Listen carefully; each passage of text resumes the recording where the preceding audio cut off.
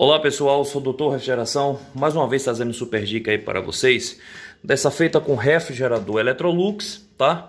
Esse é um tipo de refrigerador chamado Side by Side, aonde o freezer é separado do evaporador em outro gabinete. É um refrigerador muito bom, tá? E o cliente nos chamou aqui pelo seguinte fato, que o freezer só está resfriando, não está congelando os alimentos. Então vou mostrar aqui para vocês o que foi que eu verifiquei aqui. Já retirei a tampa daqui de trás.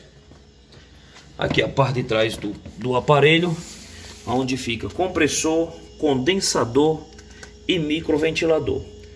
Como vocês estão vendo, o condensador tá muito sujo, pessoal. Olha para isso aqui, ó. O condensador tem que dar uma geral, não somente o condensador, mas na bandeja também. Tá vendo aqui como é que tá? Agora vamos lá o aparelho não está congelando na parte do freezer. O que eu trago para vocês, a real situação é essa daqui. Olha como o filtro secador está molhado, pessoal. Molhado e gelado.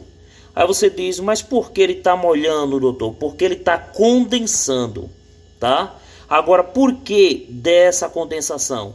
Está sendo gerado internamente nele aqui uma pré-expansão tá? É por isso que o fluido refrigerante já começa a adentrar o tubo capilar sob baixa pressão, baixa temperatura, condensando. Tá vendo? Para isso aqui, ó.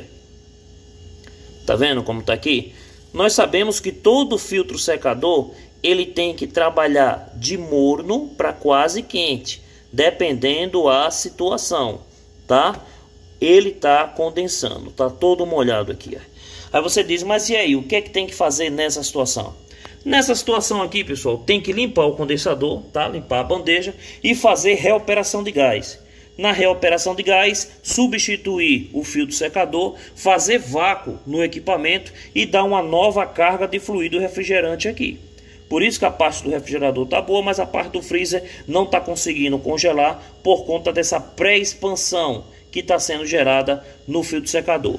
Fazendo isso daí, o problema com certeza estará sendo resolvido. Beleza, pessoal? Vou passar aqui o orçamento para o cliente, o cliente autorizando, a gente executa o serviço. Fica mais essa dica aí do Doutor Refrigeração para vocês. Fiquem com Deus. Tchau, tchau, pessoal.